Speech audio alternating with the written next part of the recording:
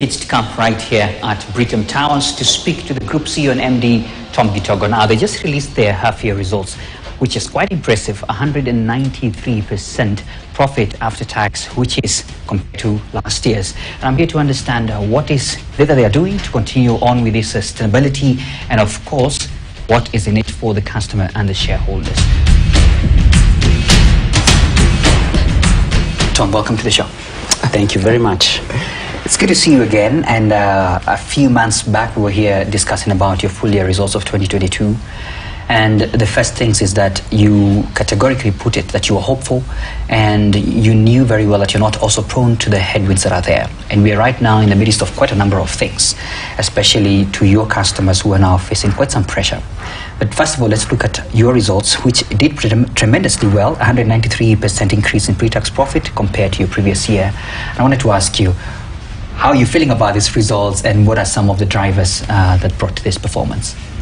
They were pleasing results. Yeah. Uh, it's good to see that uh, the strategy that we are employing as a group is working, yeah. not just here in Kenya, but in the region as yeah. well, because as you know, we're in seven countries uh, in the region. Mm-hmm. So that is definitely working. Yeah. Our partnerships with uh, various uh, bodies out there, like telcos, banks, and so on, mm-hmm. is bearing fruit.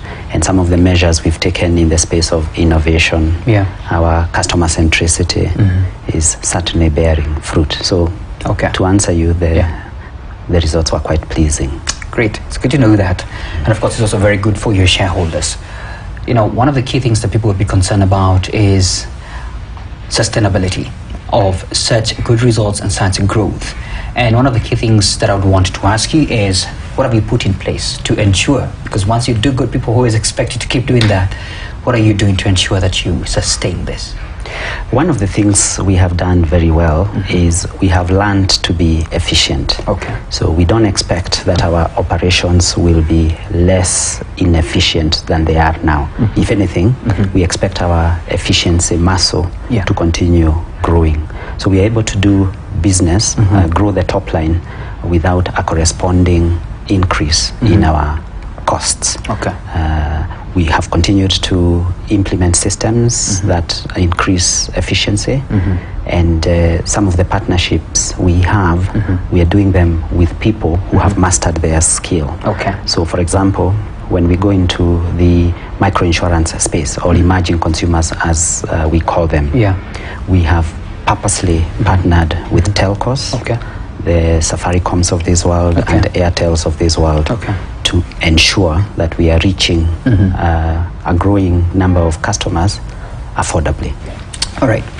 Tom, I'd like you to elaborate a bit more on um, your partnership because I saw quite some activity, especially on the road shows and all that. And I'm curious, are the people on the ground, which is really in line with the government's agenda, are they taking this up? Yes, we have seen a significant growth in our customer numbers. Okay. Uh, when we have gone into partnerships with uh, the telcos, for example, Okay. with banks and uh, so on, uh, with startups and insurtechs, uh, because they are good in what they do. Okay. And um, uh, if you take telcos, for example, uh, any transaction um, that they have, if we can embed insurance, because we, we are nowhere near optimizing that. Yeah. Uh, but the little we have done, we have seen our numbers grow significantly. Okay. Before we discuss a bit more on your numbers, I'm curious to ask you, are you concerned? I think that's the best word to use, especially in this particular season where we have a bit of increased pressure, talking of, you know, increased uh, rates, uh, cost of living as well. And I'm sure this as well has an effect to your customer. I don't know, what's in your mind on this?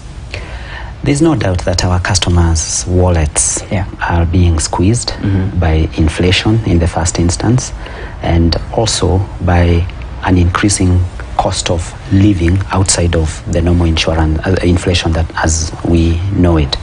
So we need to make sure that our products and services are relevant, mm-hmm. so that they are not the first thing a customer throws out Yeah. when they experience pressure on their finances or on their wallets. So the key word here is A, we must make our services, and we are constantly doing that as Britam, mm-hmm. relevant Okay. and uh, applicable to the daily lives of our customers so that insurance begin, begins to be seen mm-hmm. as a financial instrument rather than as a cost. Okay. To some of your numbers, the half year results, your regional general insurance business contributed quite significantly to the entire gross earnings.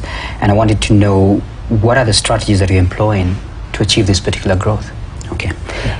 Any business mm-hmm. looks at diversifying its revenue streams. Mm-hmm. Although the contribution by our regional businesses continues to grow, it's mm-hmm. currently about 30%. Okay. We would want that to grow to 50% so that as a group we are not too dependent mm-hmm. on our results here in Kenya. Mm-hmm. That is not to say we are not looking to grow in Kenya. In fact, our aspirations for growth within Kenya are quite high and ambitious. Okay. But that does not necessarily occur in isolation to growing the business from the region. Mm. At the moment, a lot of the businesses in the region are general insurance okay. businesses. Mm. We are known uh, for our life business prowess here in Kenya. Mm -hmm. So, one of our growth areas uh, that is obvious -hmm. is that we must move towards doing life business Okay. in some of these other countries as and when it becomes appropriate. We agree that not all of them are ready for individual life or ordinary life business, uh, retail life, Yeah. but they are ready for credit life, for group life. Okay. And the businesses, especially the SMEs, also need services that are currently uh, in the life uh, space. Our investment business, uh, our asset management business, currently we are doing very well in Uganda. Some of the other markets are getting ripe for that sort of business. So you can see there are avenues uh, that we have seen as Britam uh, for growth in the region as we march towards diversifying our reliance on the Kenyan businesses uh, to the uh, total overall Okay. group results. I'm sure you're privy to this because I speak sometimes, uh, especially to bank CEOs, and they are also constantly thinking about diversifying. And one of the banks told me that they have considered significantly over the last few years to get into the insurance industry as much as they can. This is a concern to you. It's um, there's two sides to it. uh-huh. The penetration of insurance is quite low. Okay. And uh, the more players we have, and the deeper pocketed ones like banks, can only be uh, useful to the, you know, increasing the awareness Okay. uh, and diversifying the service provision and products within the industry. So, in that regard, I am pleased rather than worried. Okay. Of course, there is a tendency to go for low hanging fruits. So, some of the mistakes I think banks will make is to try and compete with us for, the, for existing business. Uh, I hope that that is not what they are planning to do because if they do that, of course, we are better at it than they are.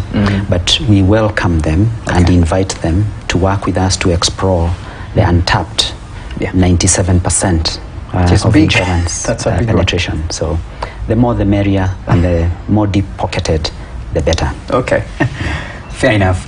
So your improved insurance underwriting performance was mentioned as well in your results, and I wanted to shed some light on the specific initiatives or factors that contributed to this improvement.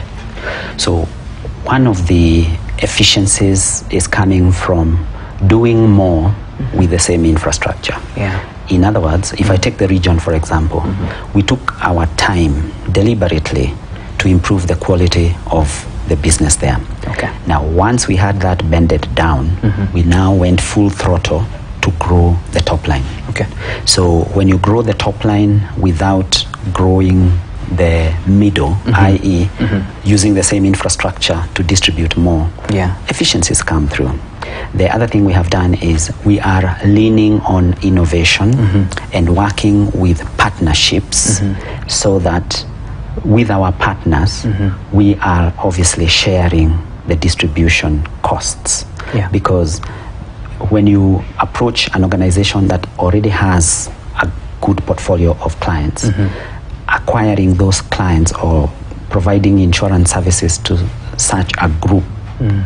is not as expensive Yeah. as a greenfield Yeah. or coalescing these potential customers yourself. So some of the e- efficiencies are coming through because of how we have chosen to work.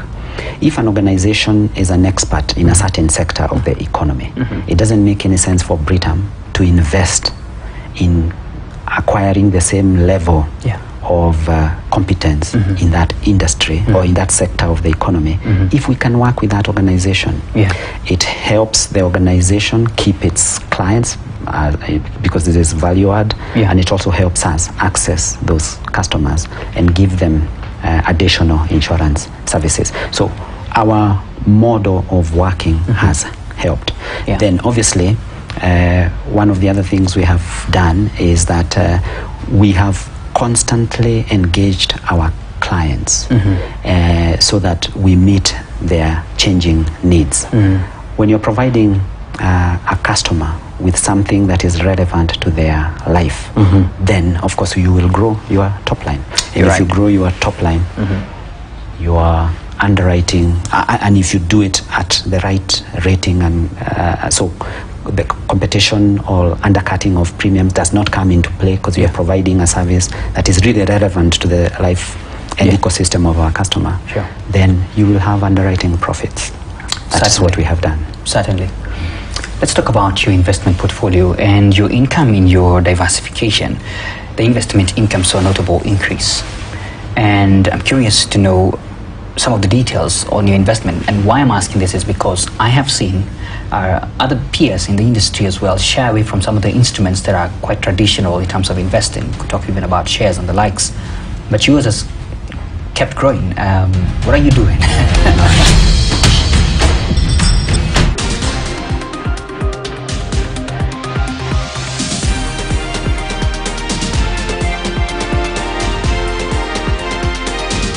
KTN News. Get the whole story. If you want to be free and live like a child again, why stress about germs? Everyday use of Dettol keeps my loved ones protected. more than 5,000 government services on eCitizen. Whether you are applying for a passport, driving license or any other government service, you can now pay using your Visa card from any bank. Avoid the lengthy process of transferring money from the bank to your mobile wallet. Instead, pay directly from your Visa card and enjoy safe, fast and convenient transaction. Terms and conditions apply. Air Profile, brought to you by DSTV Kenya. Marcus Rashford, position, forward, country, England, date of birth, 31st October 1997. Marcus Rashford is an English professional footballer. He plays as a forward for Premier League club Manchester United and the England national team. Watch the Premier League matches on DSTV Supersport Premier League Channel 223. If you want to be free and live like a child again, why stress about germs? If you must worry, then worry about winning. Why worry about germs? When you come home, bring tales and stories. Why bring in germs? Shield your families from germs. When Dettol is a part of every household bucket, then you and your family can stay protected from up to 100 illness causing germs. Everyday use of Dettol keeps my loved ones protected. Keep your toilets clean. I use normal detergent and bleach for washing. The detergent and bleach cleanless can leave behind yellowness, rust, and germs. Harpic's 10 times better cleaning compared to regular detergents and bleach and kills 99.9% illness causing germs in your toilet, including the COVID 19 virus.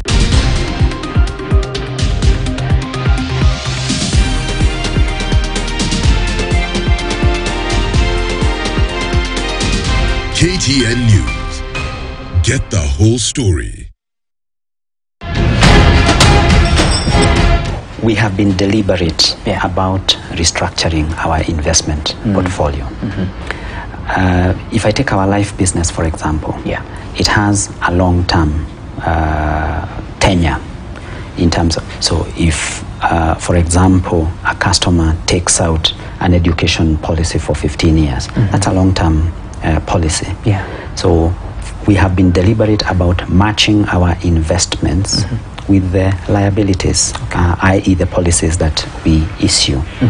So a significant part of our bond portfolio is now held to maturity.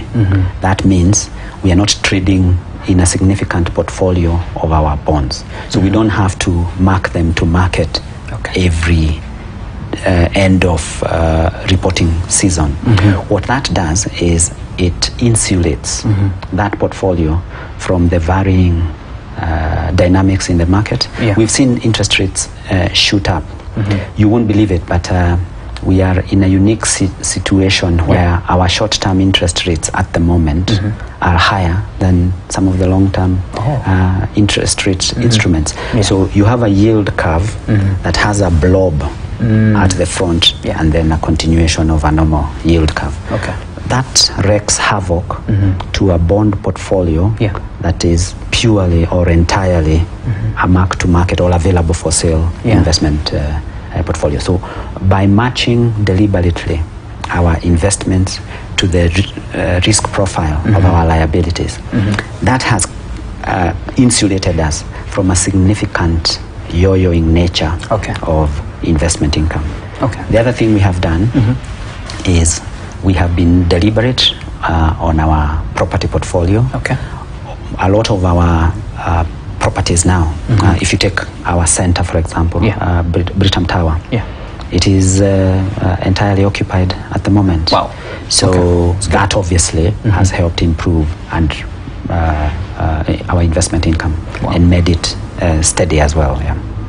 I love that, and congratulations on that as well. I think last time you were still at some percentage, hoping to have full Yes, occupancy. we were Yeah. at about 80%. Yeah. I'm happy to say we are now at uh, 100%. 100%. yeah. so if you are looking to get space in Britam Tower, Yeah. I'm sorry. Just wait. I love that. Okay, operating expenses ratio at 30%, quite commendable as well. Any measures and practices that you've put in place to maintain this at that? So one of the things that uh, we have done is, uh, uh, I, I mentioned earlier, Yeah. is working with organizations, Yeah. working with partners. Our strategy, uh, if I can actually touch it on it, Yes. is Epic Squared. Oh, E is for our employees and our financial advisors. okay. We look after them, they look after our business, and they look after our customers. Okay. It sounds simple, but it is also deep and profound. Yeah. P in the EPIC is partnerships and digital distribution. So a lot of our expense uh, efficiency Yeah. has come from digital distribution Yeah. because it's you can do more cheaply. Uh, we intend to continue doing that. We will work with insurtechs or any startups that are experts in a certain digital uh, distribution platform. Mm-hmm. We don't have to invest in those platforms as Britam if we mm-hmm. can work with someone who is an expert there. So mm-hmm. that has brought our uh, costs down. And because we will do more of that, it has worked for us, so there's no need to change. So we will do more of that.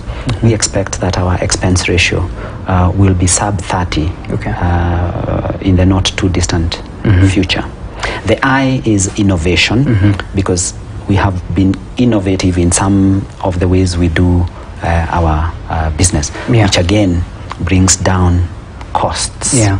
when you cut out processes that were there previously for whatever reason but are not relevant uh, Yeah. today. And then obviously being customer centric uh, is the first C. And then the second C, because I said epic C squared, Yes, C squared. is conduct. We are mindful about how we do our business. Yeah. We want to be fair to the environment. We want to be fair uh, to our customers and um, all our stakeholders. Okay. Treat the everyone right, including the environment, and that's partly why uh, Britam is big on ESG. Okay. And I'm sure we will end with uh, what you're doing on the ESG part. But of course, great uh, epic square, if I may call that, in terms of your strategy. There was one dot here on a decline, I think, on your net fair value losses from equities and government securities. and it was noted in your results. Yes. Could you elaborate on your strategies used to mitigate this and Yes. such losses? Yeah.